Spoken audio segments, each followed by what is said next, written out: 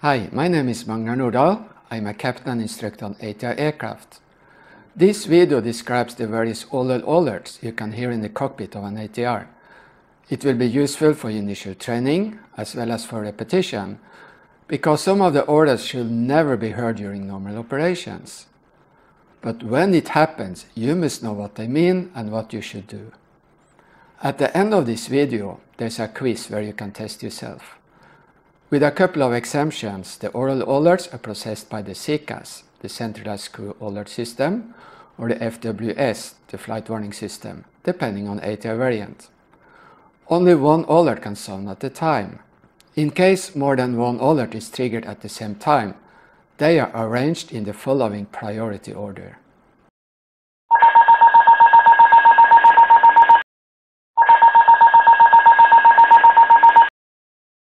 The stall warning is triggered when a certain angle of attack is reached. The airplane is still flying, but you are too close to stall for comfort. Your actions are push, increase power, if zero flap, set flap 15, level the wings. You must know this procedure by heart. And don't forget the notes in the checklist. You must remember them too. Note, if the autopilot was engaged when the stall alert was triggered, the autopilot will disconnect, but you will not hear the disconnect alert as long as the stall alert is activated. Also, when the autopilot disconnects, the airplane is trimmed to fly with a high angle of attack. Therefore, you must push hard to reduce the angle of attack and then trim the nose down.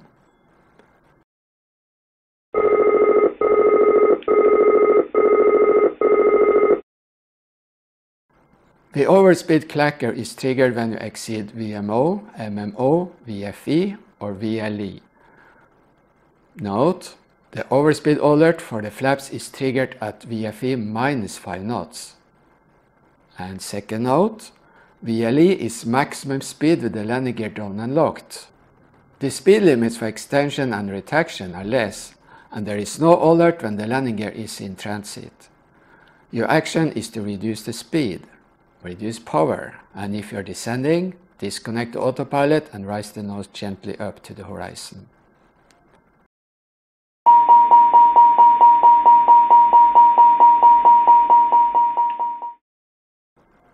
The CRC tells you that something is seriously wrong and that immediate action is required. Your first action is to push the master warning light to silence the aural.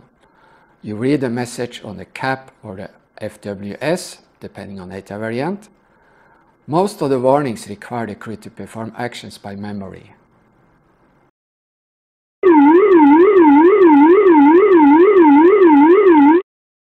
The pitch trim whooler sounds when the pitch trim is running for more than one second.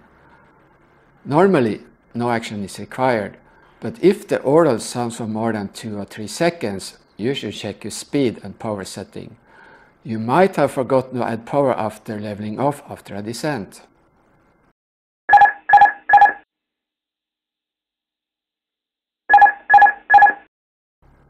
The autopilot can be disconnected manually or automatically in a dozen different ways.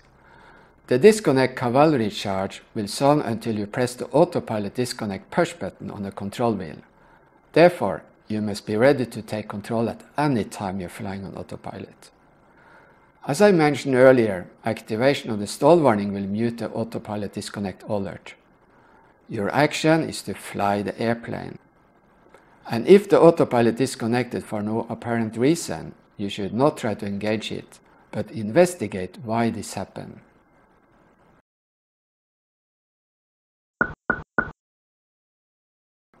The three clicks is a subtle aural. When you fly an ILS approach and both ILS receivers are active, you will see a CAT2 message on the ADU or FMA, depending on the ATR version.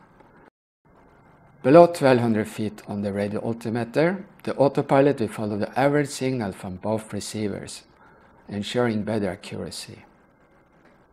If one of the ILS receivers is disconnected, the autopilot is downgraded and you will hear the three clicks. Your action is to check the status of the ILS receivers. And if you fly an ILS Cat 2, you have to go around. In a glass cockpit, the three clicks can also mean low speed or high speed protection. This means that the autopilot will command a pitch that prevents a too low speed or too high speed. An amber monitor speed or reduced speed label is displayed on the FMA. Your action is to adjust the speed by altering pitch and or power. If the speed changes quickly, you should disconnect the autopilot and make the correction manually.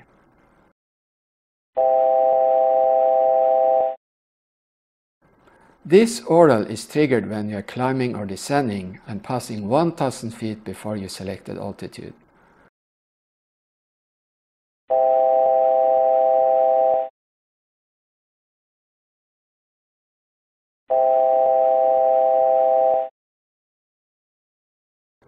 Your action is to call 1000 to go, or similar, depending on the SOP of your company, and check that the selected altitude is correctly set.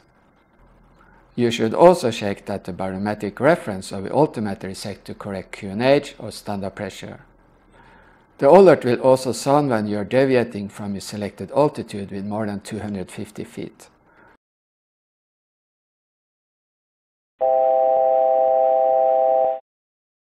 Your action is to check that this is normal, for example, you're descending on an ILS.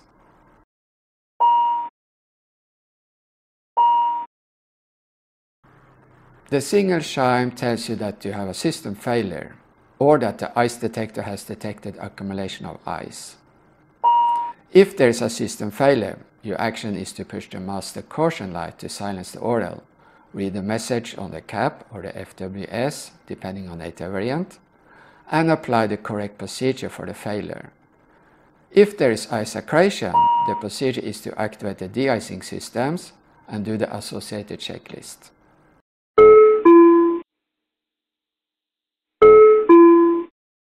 The doorbell sounds when the cabin crew or the mechanic is calling on the interphone. The bell is silenced by pressing this push button. In addition to alerts possessed by the warning systems, the ground proximity warning system and the cockpit door locking system have their own alerts. The ground proximity warning system, GPWS, is also called the Terrain Awareness Warning System, TAWS, can issue a lot of alerts. They will be covered by a separate video. The cockpit door locking system sounds a loud alarm when the cabin crew press the call push button on the door panel. The alert is similar to the overspeed alert, but louder, just to wake you up. It is silenced by opening the door or by selecting deny. That's all of the alerts. And now it's time for a quiz. First you will hear the sound, then you will get three choices and you choose one of them. So write them down. There are nine alerts in all, and after the test, you will see the correct answers. Are you ready? Okay, here we go.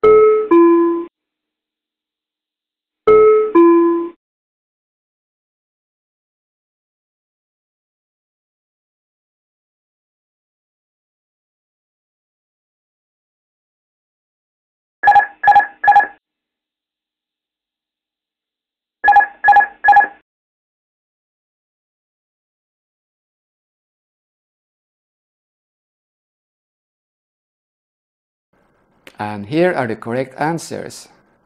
It wasn't that hard, was it? Okay, that's all for this time. Thank you for watching. Have a wonderful day and happy learning.